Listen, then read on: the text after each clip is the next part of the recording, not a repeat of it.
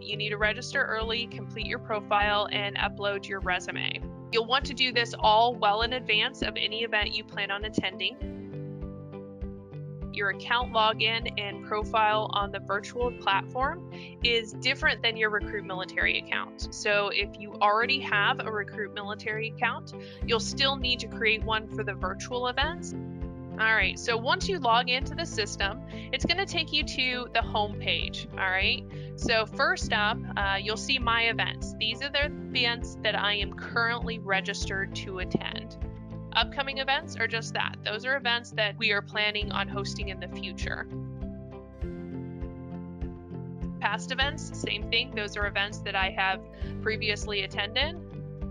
And then the job board. Okay. So, one of the things that I want to highlight about the job board this job board obviously has a different number than the RecruitMilitary job board.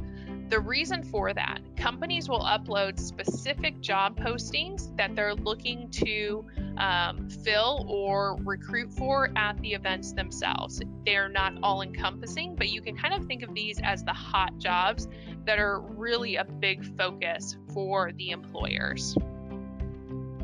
Next up, you want to come over here to edit profile. This is where you're going to want to complete your profile in its entirety. This is the information that the employers are going to have access to to understand who you are as a job seeker and what you can offer them um, as an employee. Next up, education. Resume, you can upload your resume, cover letter, reference letter, transcripts. Again, you want to include as much information as possible portfolio samples. If you have any um, digital copies of any uh, sort of your work, you can upload that here. And then email preferences. This is where you can opt in and opt out of receiving emails from our team. All right, next up, messages. Over here in the right hand corner, messages are uh, employers looking to reach out to you either in advance of an event or post event. Now, keep in mind that these messages only live here, so you're not receiving notifications outside of the platform. It doesn't go to your email, so it's on you to come in um, and physically check these messages. Now, the technology requirements are really pretty basic. Uh, you can access the system from a mobile device such as a smartphone or a tablet, but really for the best experience, we recommend you use a personal computer with Google Chrome uh, as your browser.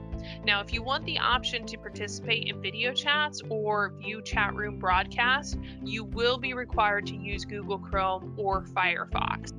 In advance of every event, we strongly encourage candidates to do some preparation and review the attending employers. So, to do that, you'll want to click on View List of Participating Organizations. And again, this is the list of employers that are going to be in attendance. First up, you'll come to all rooms. These are all of the chat rooms, um, all the companies that are attending. You can kind of think about this as the um, event floor in a live um, exhibit space. So you've got the organizations, the topics that they're going to be covering, or what a little bit more about what they're going to be discussing um, in that specific chat room, whether they're online, offline, and the times that they're going to be available today. So let's go ahead and head into that room. You can do that by clicking join chat and it's going to take you into the room. So, first thing you'll want to do is read the blue box. All right. This is basically the employer's or organization's handshake to you. So, this is where you can learn a little bit more about what they're going to be discussing. They may answer some initial kind of questions about the company um, and share just some information that'll be beneficial before you start your engagement. So, make sure you read that. Up here in the left hand corner, this is the um, company information. As I mentioned, there's ways to get to information uh, in different ways. So you can still access the employer profile without going having to go back to the main page. A little bit of job postings, website contact information. Um, so you can still access all of that here. Files. So these are documents that the employers will upload that um, they would typically hand out at traditionally like if they're attending a live event so flyers brochures things like that um, maybe company benefit information. It really runs the gamut, but definitely check out the files um, links. And then again, their social media um, accounts.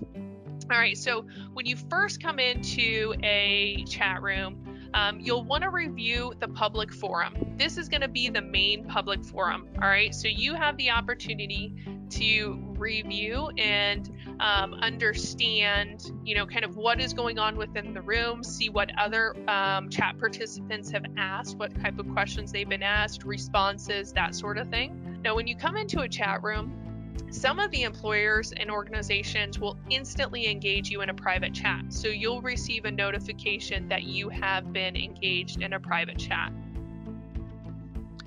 So you'll see you have received a private chat. All right. So you just click on this and it's going to bring up that private chat. All right. So here you'll see that the company um, has engaged you in a private chat. Now, these messages can only be seen by you and the organizational representative, not the other chat participants. You can also engage the employers themselves in a private chat. So if they don't engage you in a private chat, we definitely encourage you to do so. So to do that, you would just click here, invite to private chat, and again, that private chat message will pop up. Okay. Now, one of the things that the employer has access to do, but you do not, is engage in a video chat. So, what typically will happen is an employer will ask you, Hey, are you open or able to um, do a video chat? If you have webcam capabilities, you can say yes, and they'll send you an invite, and a little box will pop up here saying, um, the CareerEco platform would like to have access to your webcam and your um, audio device. Allow or deny. You click allow, and two boxes are going to pop up. The first is going to be your box, the video of yourself, and a box of the recruiter.